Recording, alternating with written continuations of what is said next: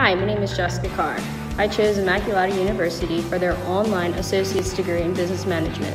This gives me the flexibility to pursue my degree and also spend time with my children.